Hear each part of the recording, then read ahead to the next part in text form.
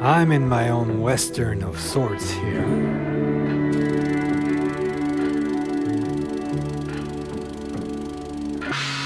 The movie has this uh, soft, bluish, hazy light with no contrast. Everything is flat and romantic.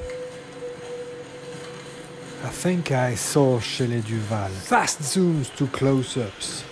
Yeah, you gotta stay nimble. Feels like you're seeing everything behind the white curtain.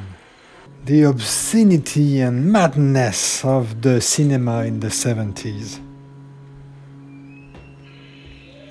It has also a slight Peaky Blinders feeling to it.